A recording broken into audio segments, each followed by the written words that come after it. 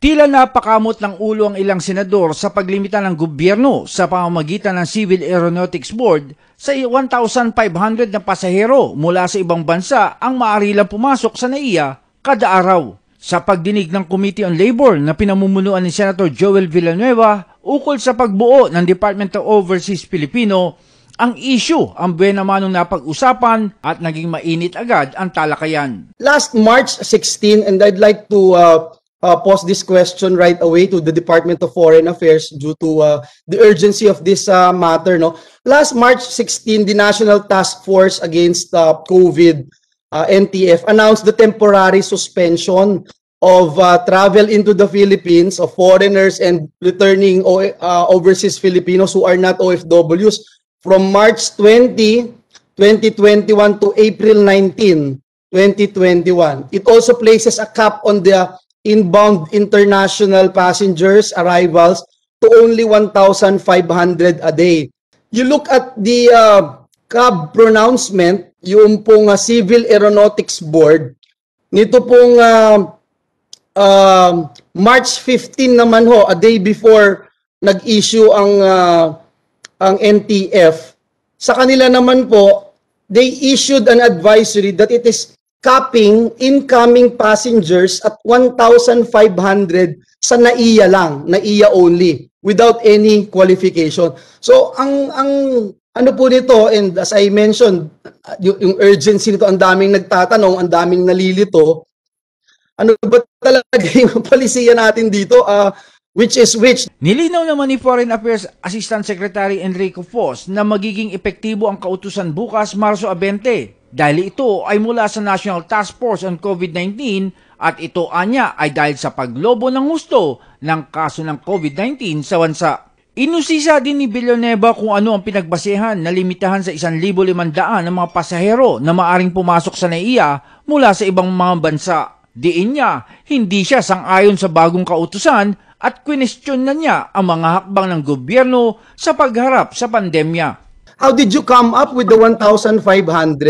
Bakit po 1,500? And I'm sorry, you know, sir, I, I really don't agree with this because in other countries, if they have a good quarantine program, contact tracing, uh, testing, I think hindi kailangan eh. But uh, just the same, I, I wanted to find out where did you get the 1,500?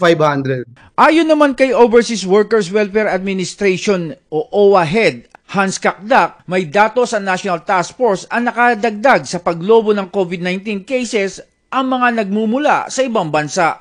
As far as we know, yes, we took part in the in the meetings uh, that had established the the current uh, imposed travel ban inbound. Uh, and as far as we know, the reasons are mainly health-based.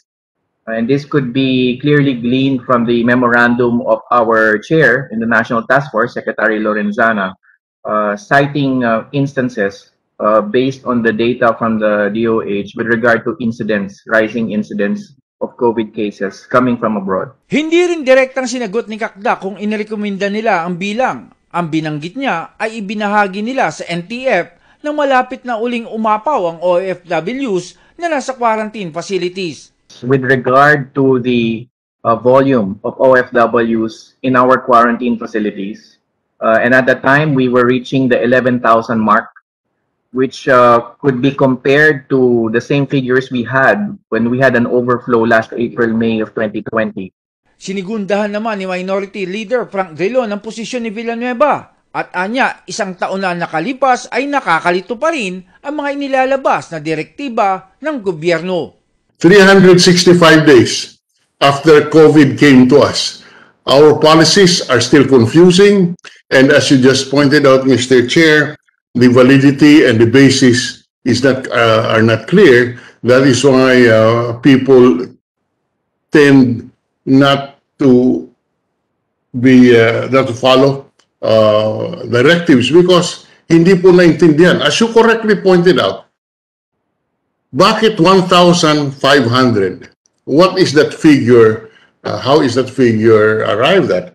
As you correctly said, Mr. Chair, eh, yung ibang, kung talagang uh, if this is a system of, uh, of making sure that we control the entry of those uh, uh, who may be um, uh, who may have COVID, they just choose the other airport, Cebu, Clark, and and uh, uh, wala rin. So it's also ineffective. Maging ang kaalyado ng Malacanang na si Senator Francis Tolentino ay sinabing hindi niya mahanap ang lohika sa paglimita sa bilang ng mga pasaherong maaring pumasok sa NAIA. Duda si Tolentino na ganap na maipapatupad ang kautusan ng walang koordinasyon sa gobyerno ng mga bansa na pagmumulan ng mga pasaherong papasok sa NAIA. I would like to express my uh, alarm attitude towards this because I, I, I foresee the unenforceability of this.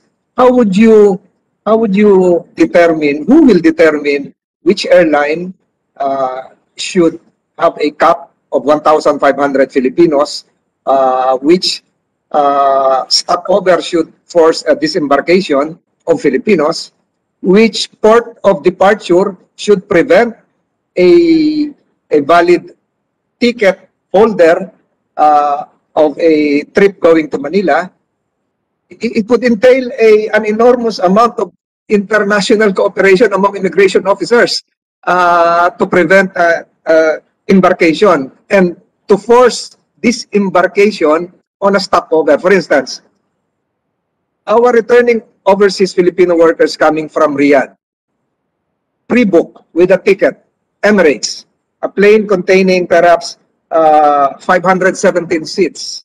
And their current policy is to allow only 35% seating capacity, which would be 180 seats. How would you pluck out the Filipino uh, passport holders bound for Manila with tickets, pre-book?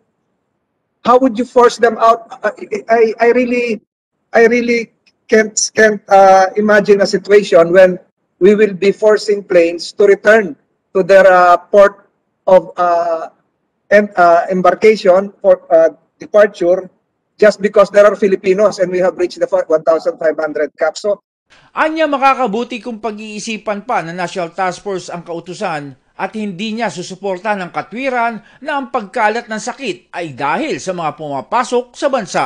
I suggest at DFA and I- I'll try to text Secretary Lorenzana to revisit this. Super spreaders, the one carrying and uh, diffusing the virus, so to speak, are not just those coming in. They're within, within us.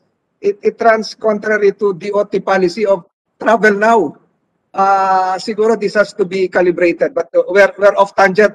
The topic, Mr. Chair, just uh, uh, speaking out loud. Kanina naman nagpalabas na ng bagong memorandum ang National Task Force at sinabi na ang lahat ng mga Filipino citizen, OFW man o hindi, ay maari nang pumasok sa bansa. Janice Cosio, Radyo Inquirer Online, Bayan Nagtatanong, mamaya nag-uusisa.